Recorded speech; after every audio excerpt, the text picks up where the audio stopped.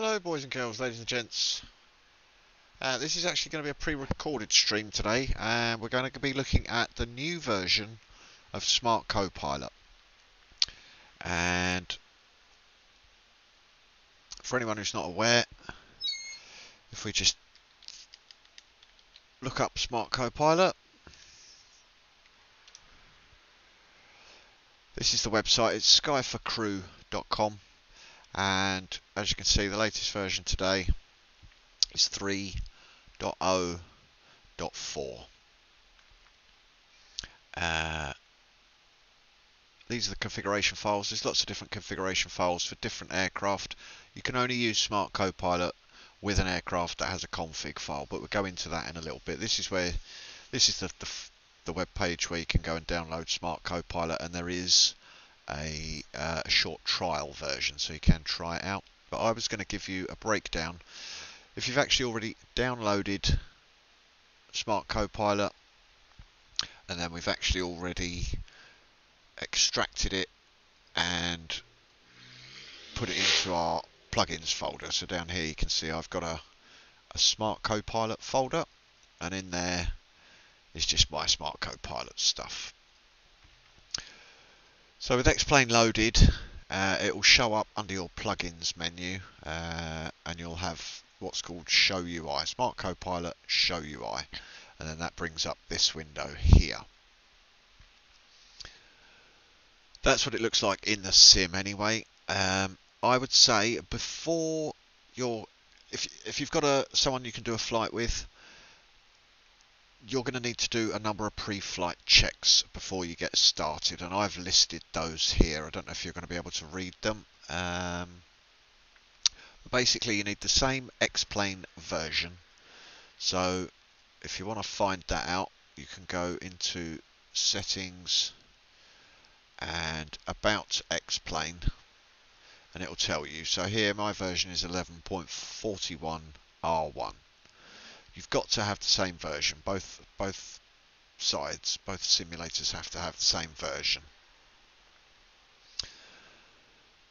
We also need to have the same Smart Copilot version at the time of writing. As I say, it's 3.0.4 and you need to have the same aircraft version. I'm for today's uh, demonstration, I'm just going to be using the default Cessna. So I've actually already got uh, there are numerous other aircraft ever mentioned on the website. There's there's the ToLiss, there's the JAR Designs, there's the 757, 767s from Flight Factor. There's all sorts of different aircraft will work with Smart Copilot to different effects. Um, so we're going to use a default aircraft today. If we've got the same X-Plane version, you're going to have the same default aircraft. Uh, it's good, I always think, to start with a, a, a, default aircraft just to make sure you can get the connection and everything's working properly. Uh, point 5 here, you're going to need the same AIRAC version. My advice, you're going to need a Navigraph subscription and you're going to need the latest Navigraph data. Um, either that or again both sides are going to need the same the same version data again. You can probably find that out from within your X-Plane custom data. There'll be a readme text in there and that will show you what version sorry cycle info will show you what cycle info you've got. I'm obviously running the latest 1913 at the time of making this video. So that's important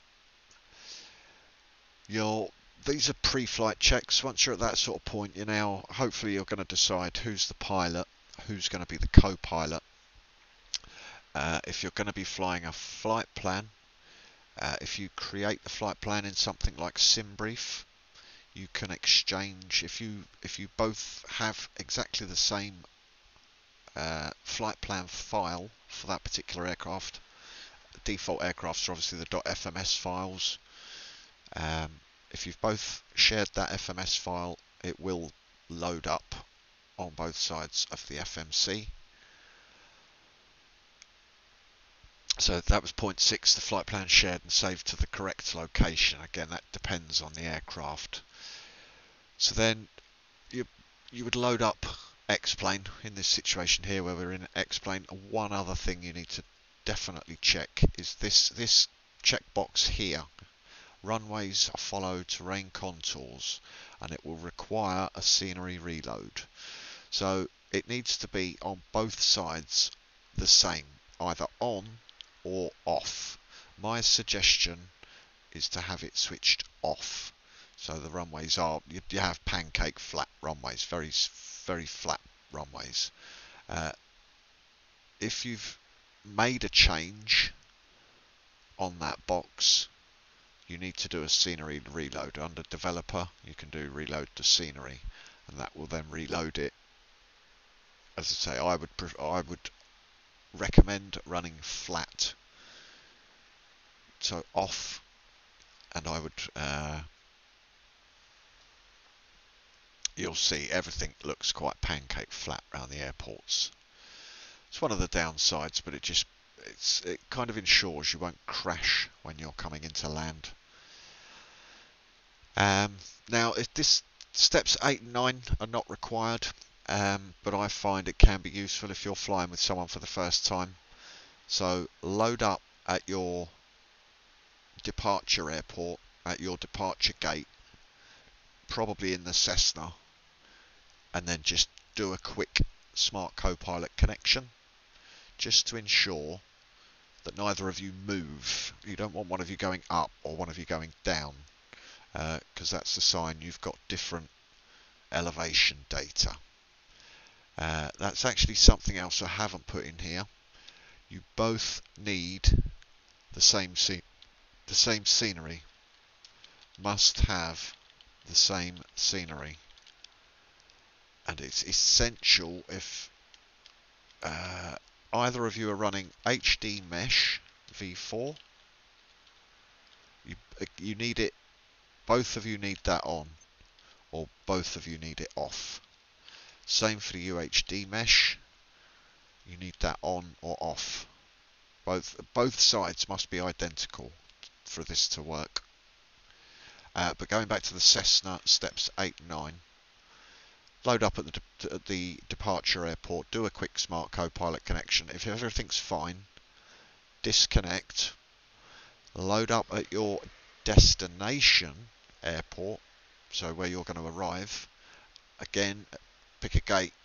Both of you load up at the Cessna at that gate. Do a quick smart smart co-pilot connection, and you don't want to see either. You don't want to see the slave go up or down. Basically, if you do, one of you has got different mesh data, one of you's got different elevation data, and you need to fix that because you'll crash when you come into land. As I say, those points are not required, but it's a good, uh, if you want to have a successful flight, it can be worth doing those. Point 10, SC will uh, Smart Copilot will warn you if there's any errors generally. Um, if you've got different elevation data, if you've got different runways follow contours, if the aircrafts are different versions, if your config files are different versions, Smart Copilot will warn you and give you normally give one of you an on-screen message saying what the error was. So we're pretty much with those basic 10 points connected, you're ready now in Smart Copilot to make a connection ready for your flight. So at the with the chosen aircraft at the chosen gate at the destination for your flight, both of you load up. Um, I would advise before you connect Smart Copilot is to load the fuel and passengers separately. You can in some aircraft do it when you're connected, but I think it's advisable. I would suggest to load the aircraft while you're not connected. Once the aircraft is then loaded, still cold and dark, all the doors closed, or as much of it in a cold and dark situation, initiate your smart co-pilot connection ready for the flight. Uh, again, depending on the aircraft and how the FMC works, you'll be able to share that flight plan file and be able to load it on both sides. Again, before you taxi out and before you begin flying, I would advise you both check the, the, the legs and the, the points in the flight plan match. Uh, if they don't, you need to try and get them matching while you're on the ground. Um, either enter points, either disconnect and the one who's missing points, add them manually and then reconnect the co-pilot. Um, and one final tip I would give is if you're during the flight, sometimes you will find things become what I term desynced. Uh, for example, quite often in the tube liners, the slave side, it appears that the autopilot has disconnected. But when you talk to the, the, the pilot and you ask him, has the has the autopilot disconnected on your side? He will say no, more often than not. The slave doesn't touch the autopilot in that instance. Leave it up to the pilot. There is, if you switch the whole autopilot off, um, while you're still connected, both of you. So it's all disconnected, all switched off, and then try and reconnect it. That sometimes will resync it. Um, I'm going to move over now. That's enough of the pre-flight checks. You would uh, there's a couple of new features I would like to point out in the UI. So we're over to the, the simulator and we're looking at the, the Smart Copilot UI now. One of the biggest changes you're going to see uh, is a massive benefit now, this Sky server. So this effectively allows you to connect without having to set up all that port forwarding and all that horrible stuff. Uh, you just share. So at this precise moment, I've got a partner ID there. It does change each time you start Smart Copilot. It won't stay the same. But you can share that with your your intended uh, flight partner, your co-pilot here share the, both of you share your numbers uh, once you've started it someone else would have given me a number so I'm, I'm only going to paste my own number in there at the moment. I'd hit the join and that actually would then connect me. Um, I'm going to show it to you. Let me see if I can do this. Uh,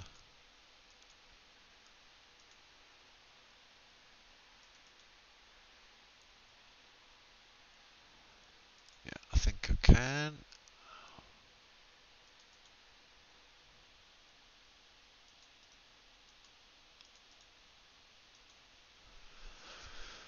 Right, one second. So if I then open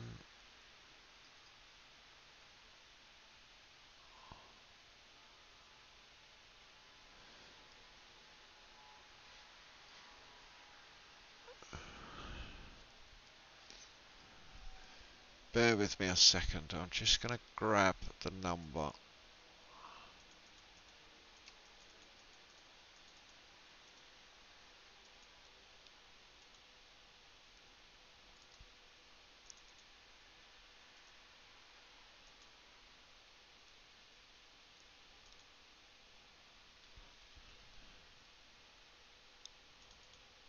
So I can then show you how the connection works. Just getting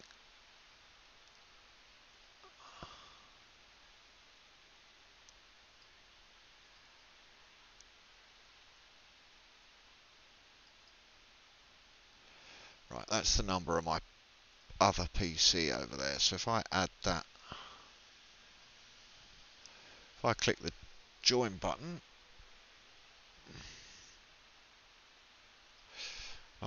I didn't start it on the other one. Where, one moment. So, when I click the join button, that sends a join to my other PC. I do allow.